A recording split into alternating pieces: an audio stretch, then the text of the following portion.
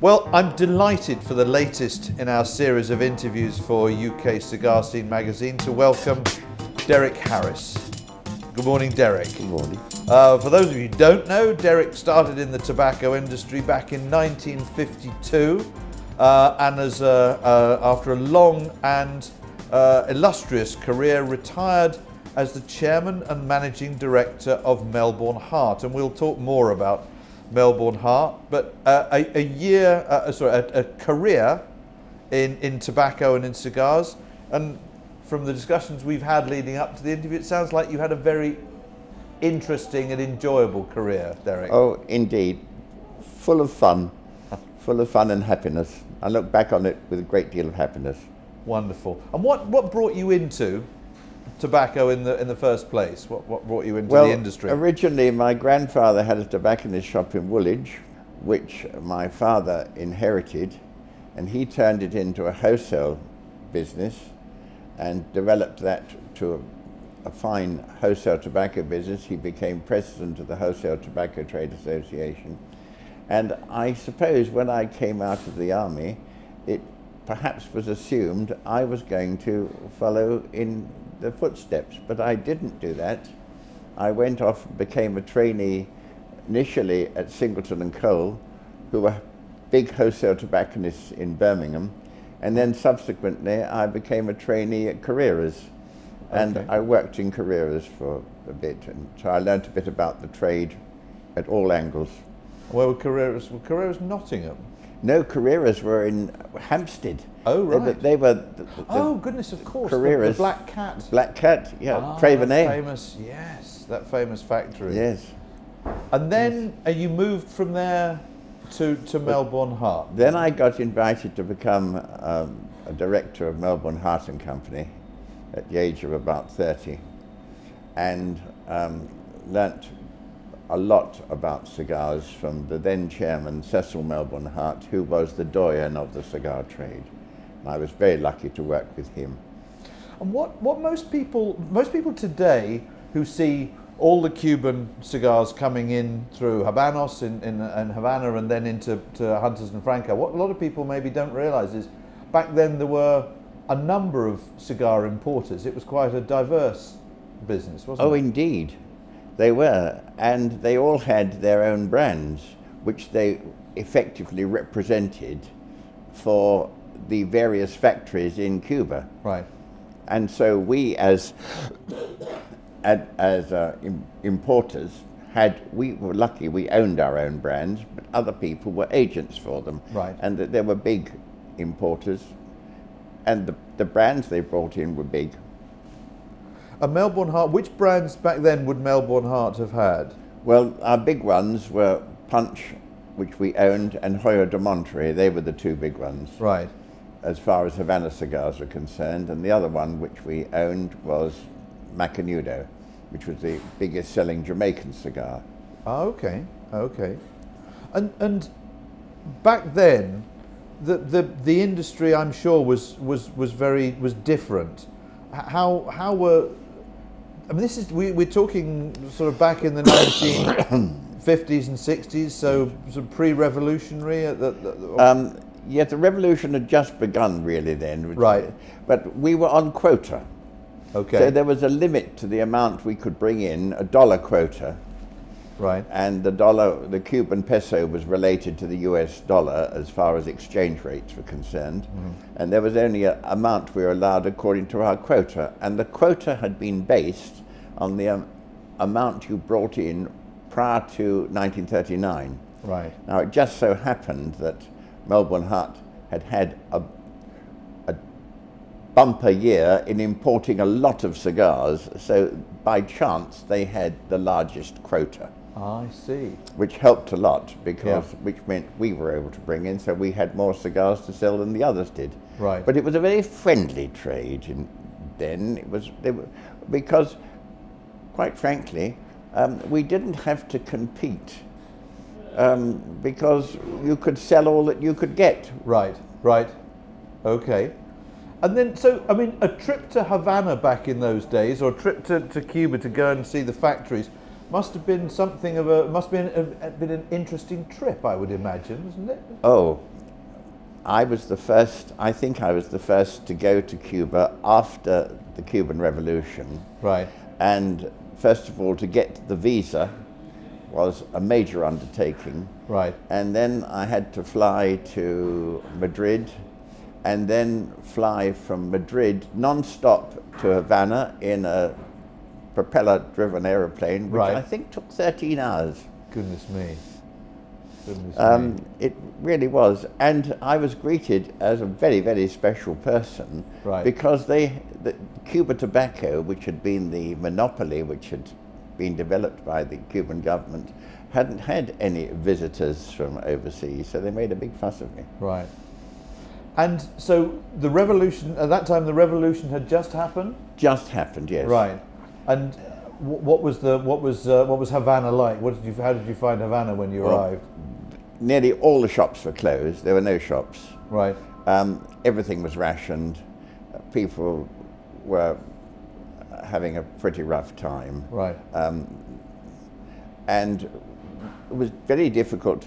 I mean, the things one liked to take little gifts out to them, and the things which we, you know, the best thing which one could have taken out, which I wasn't able to do, was a bar of chocolate. So, you know, I, I took things like silk ties, which were in rela- thoughts now were really not very popular. Right. so coming back then to, to the industry in in, uh, in London and, and, and your your round your sales round.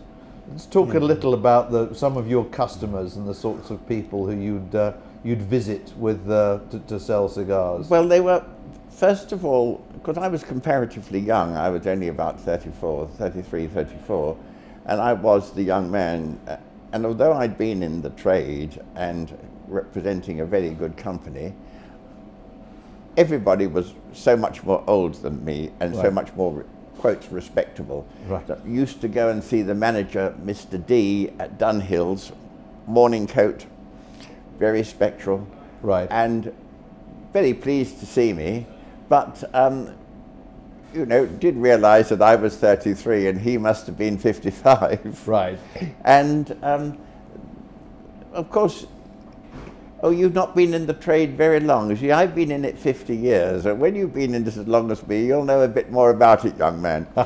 and I can remember saying to one person, it's because I'm meeting people like you, sir, that I'm learning a bit about it, which helped a bit. um, they, everybody was very friendly, They're always pleased to see you. And one used to do the circuit like sort of almost every week. Right. Because whilst there was a limit to the number of Havana cigars one could sell, Yeah. and um,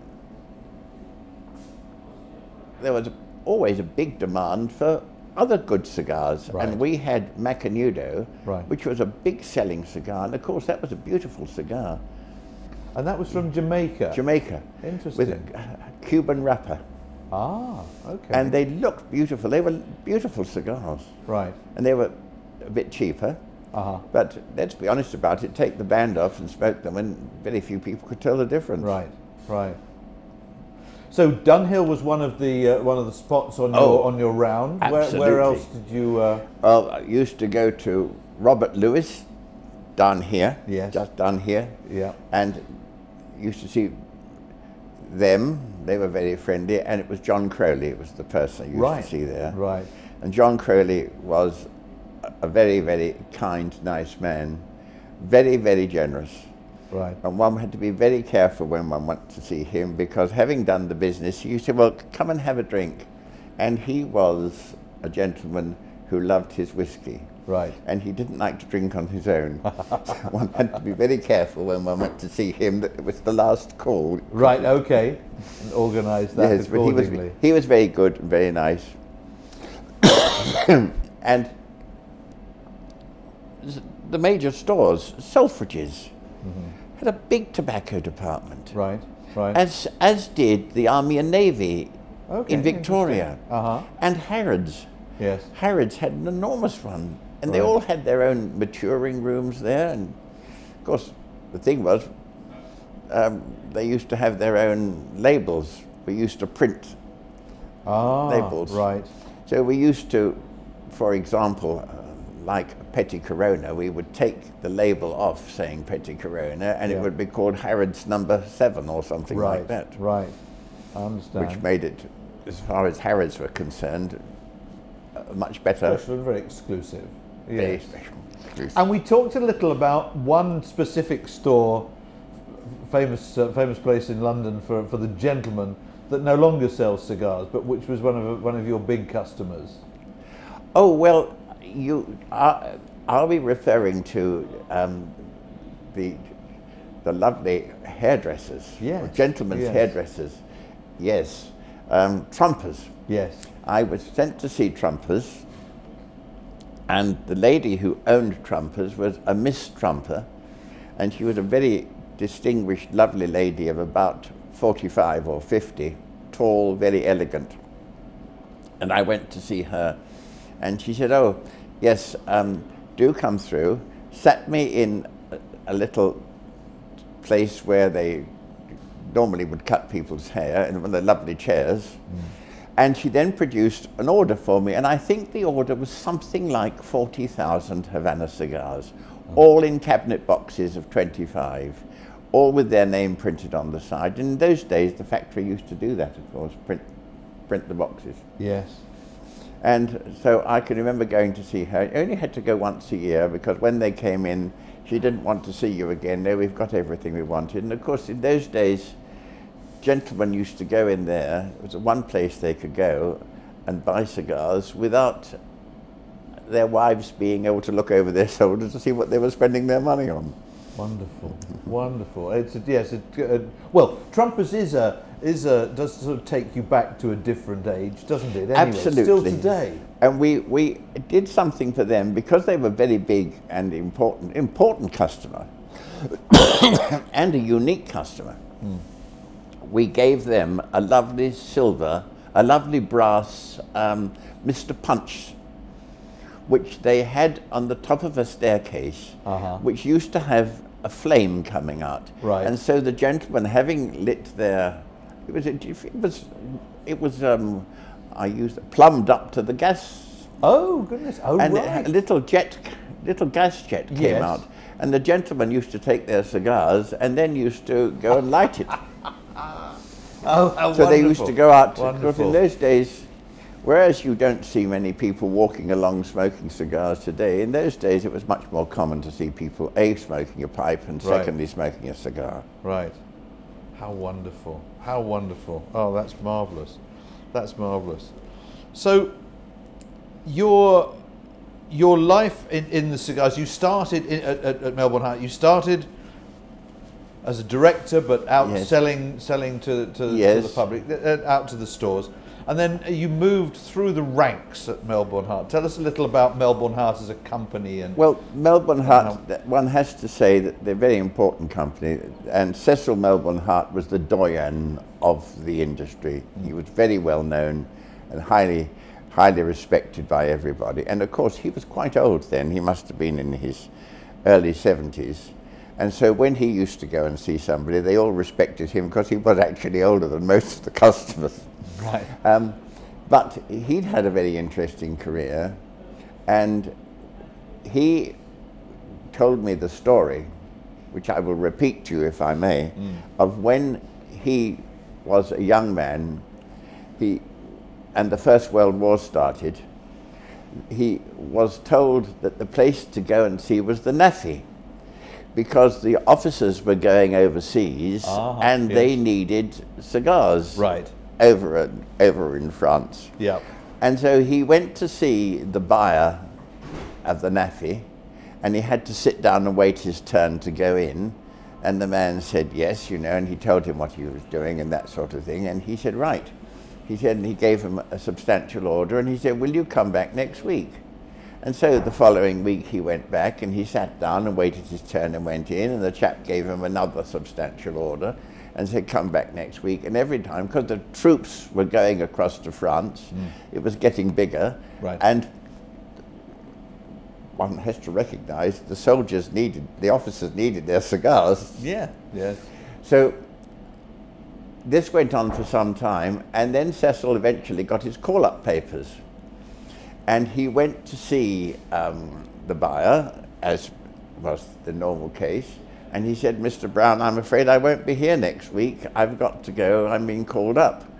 Oh, gracious me, what's going to happen? Well, I don't know what's going to happen, sir, because um, I'm going and I don't know, my brother's already in the army, I don't know what's going to happen. So the buyer said to him, Well, under those circumstances, I think what you better do is to write out an order for the next 12 months and I'll sign it. So if you'd like to do that now. And so Cecil Hart proceeded to write down the order and work it out according to, based on what he'd sold in the past months. Yes. Over, and it came to over 7 million cigars. Seven. 7 million Havana Wow. cigars. And the man signed it. There and then. Wow. And Cecil went back and showed it to his brother or his partners, whoever they were at that Yeah. time. And they were so thrilled with him, they gave him a gold cigarette case to go and put in his pocket when he went to France. How wonderful. How So that's a, amazing. probably the biggest order ever. Ever for cigars. Wow. How extraordinary. That's amazing. And so, where were Melbourne Hart based in London? Where Well, originally they were based in Basinghall St- Street in the city, Mm-hmm. and then they moved from there to Barnard's Inn in Holborn. Right. and we were there. and subsequently, as the Hart brothers got old, they came to the conclusion they sold the business. Uh-huh, And they sold it to Godfrey Phillips, or to put it another way round, Godfrey Phillips bought them. Right. Godfrey Phillips, who were a big cigarette company Right. and wanting to diverse. And Melbourne Hart was extremely popular and very, very profitable. And so they bought. But they kept Cecil on as president Right.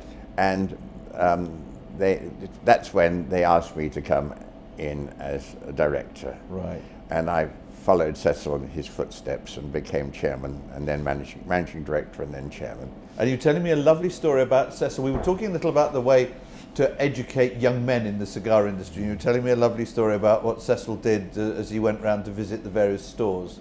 Well, what he used to do, which was really quite clever, um, when he used to go out to Havana every year, he used to go and, of course, he was greeted, you can imagine, the factory's biggest customer when he went out, Fernando Palicio, who the, owned the punch factory, used to bend over backwards. Anything Cecil wanted, he could have. And he used to say to him, Oh, I tell you what, would you please get me 500 Cuban postcards? And so he used to get these postcards and he used to bring them back to England. And then during the course of the year, as he was going around visiting people, he would go into a shop or a store and he would talk to the young person behind the counter, the young trainee or the assistant, and find out what their name was. And he'd make a note of it. So he'd go into Selfridges, for example. Although he went in to see Mr. Rook, who was the manager, he would talk to the young man and say, What's your name? And the chap would say, Oh, my name's George, Sir George Smith. Oh, good. Well, nice to meet you. And I'm, I've come to see Mr. Rook, but will you tell him I'm here? But it's very nice to meet you, George. And he would make a note of George Smith's name. He'd come back to his office and he'd say to his secretary, George Smith, Tobacco Department, Selfridges. And his secretary would write a card then and there and put on it, arrived safely, weather, weather good, crops looking excellent, nice, best wishes, Cecil Hart. and when he went out to Cuba the next year, he would take all these 500 cards with him, which his secretary had written, Yeah. give them to the factory. The factory used to put stamp, Cuban stamps on and post them. And of course, you can imagine 60 years ago, Yeah. in those days, to receive a postcard from um, Cuba, from the chairman of Melbourne Hart and Company, Yeah. was a great thing. And of course, public relations wise, it was did wonders to him. Absolutely fantastic. Everybody I knew him. Yes. And everybody regarded I- him. Oh, and everybody as they came up through the industry Yes. remembered for that that Yes. for, for, for that how wonderful and you were telling me that sometimes when um, that uh, even back then that uh, circumstances in, in Cuba the, the factories would sometimes find themselves a little strapped and that led to some interesting uh, interesting deals Well, the factory, I suppose, in, answer to it, yes. Um, I think they probably led a very good life above their income. Mm. And um, one day, the factory, Fernando Palicio said to Cecil, um, we're wondering if you could give us another order because we're you know, a bit tight and the bank would like to make sure we're going to have a decent order. And Cecil said, well, we've just given you an enormous order, you know, what do you want another one for? He said, well, to satisfy the bank. He said, well, what, what's the problem? He said, well, the problem is that, you know, I'm a bit strapped for cash. So Cecil said, well, what else is there? The outcome of it was, he said, well, I tell you what we'll buy. We'll buy the Punch brand and the Hoyo de Monterrey brand from you. And of course, Fernando Palicio was delighted to sell those because they were um, selling to their biggest customer and by doing so, maintaining yep. a long-term right. relationship. Yes, yes. And for Melbourne Hart and Company, were unique in owning the brands because the importers in England in those days were just quotes agents. Right, right. I understand.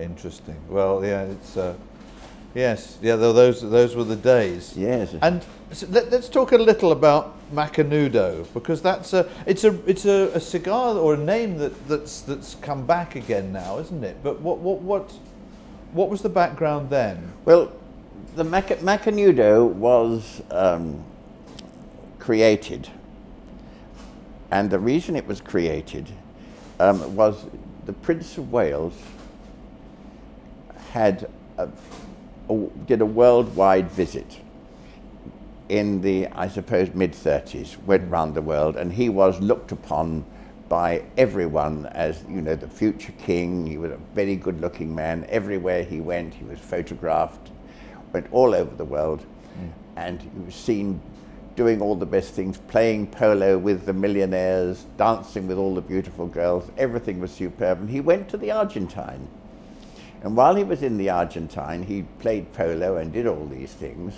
And at the end of the fortnight that he was there, they gave a dinner for him. And they asked him if he would make a speech, in which he got up to make a speech.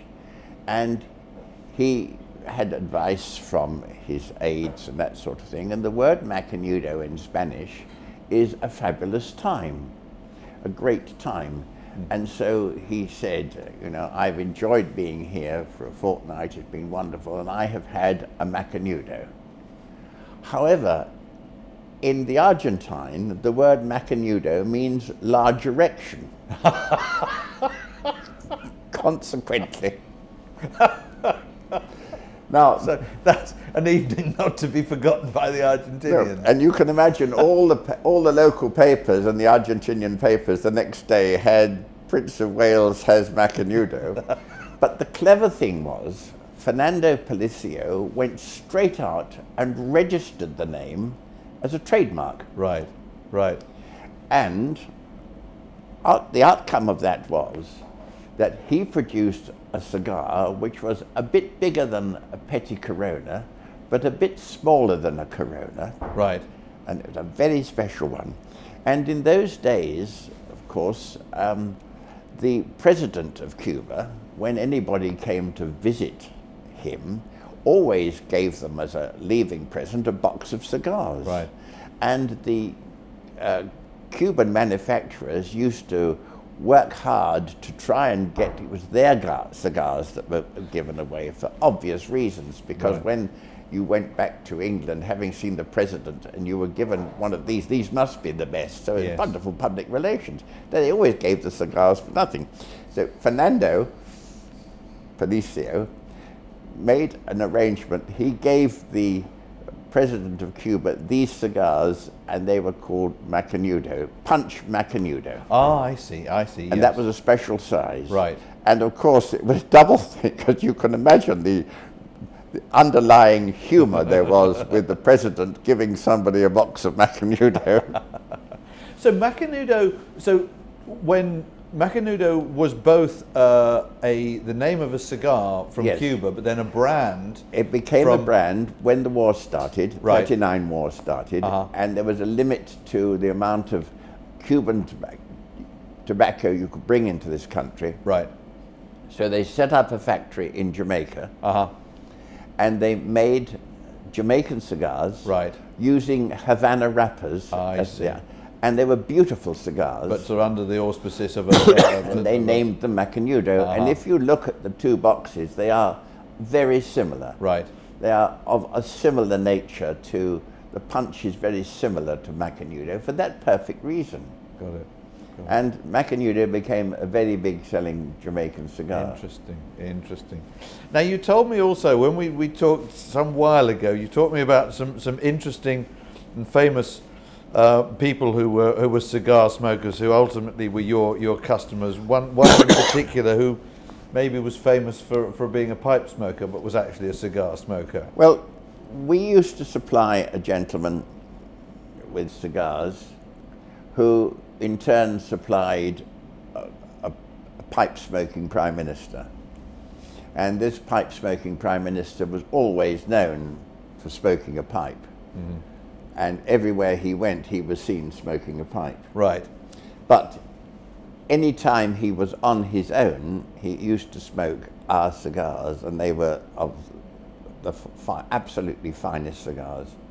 And he used to smoke a large quantity of them. but in public, he always smoked Always a pipe. seen piping smoke, smoking a pipe. Yes.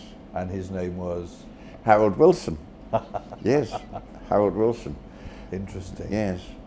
Interesting. Yes. Lovely. Well, it's been it's been wonderful, and uh, and I know we're, there are going to be a lots lots there are lots more stories to come out, but we only have a limited amount of time. So that's been wonderful. We're going to finish today with the three questions we. Uh, um, we like to ask. We know you're, you're a little chesty, so you haven't had a cigar today. But where, where do you where do you like to enjoy a cigar? Where's your favourite place to enjoy a cigar? Well, I don't smoke quite so much as I used to now. When I used to smoke quite a lot, the thing I used to love to do was to take my dog for a walk and smoke a Havana cigar. Wonderful. And walking along, smoking a Havana cigar in the woods with my dog was Uh-huh. always my absolute top pleasure. Lovely. And when you weren't walking with a cigar, what did you like to uh, to drink with a cigar? What's your favourite Oh, tipple? I think a really nice glass of brandy. Yes, a lovely glass of brandy with a cigar is something very special. Excellent, excellent. And then if we can think of, you can think back about one one cigar that was a, a really memorable cigar that you enjoyed. What would you, uh, what would that be? Well, I did smoke a cigar in Havana on one occasion, which was given to me by uh, one of Fidel Castro's number one people, who was called General Castanara. Mm. And he produced a very special cigar, which he gave to me. And I have to say, I do remember so particularly smoking the cigar. I remember taking a lot of trouble in cutting the top off so that I did it nicely because I didn't want to offend him. Mm. And I do remember him biting the top off and spitting it out and him just lighting it, although it was just another cigar. To me, that was one which was very, very special. How fantastic! How fantastic! Derek, it's been absolutely wonderful. Um, I've again, I've learned a huge amount, um, and uh, it's been most enjoyable. So thank you very much indeed. It's been a great pleasure. I've enjoyed it too. Thank you very much.